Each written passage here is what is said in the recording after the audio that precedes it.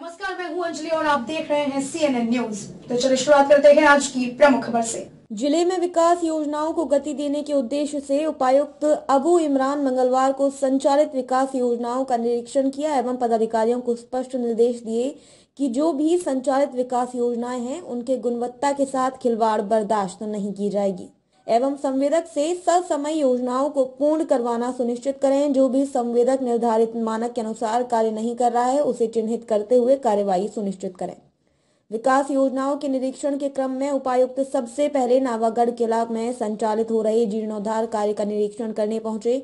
निरीक्षण के क्रम में उपायुक्त को बताया गया कि किला में सीढ़ी समेत अन्य निर्माण कार्य पूरा कर लिया गया है।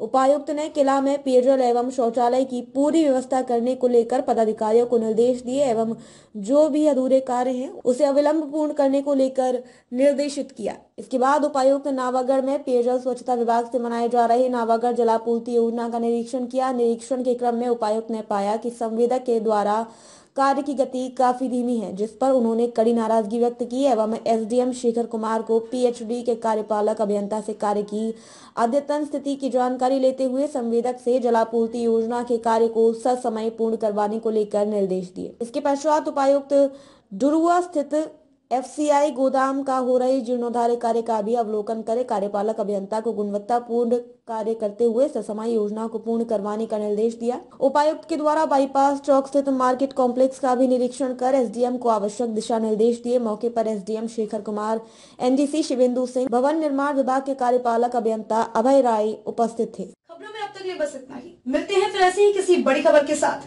तब तक के लिए नमस्कार और देखते रहिए सीएनएन न्यूज़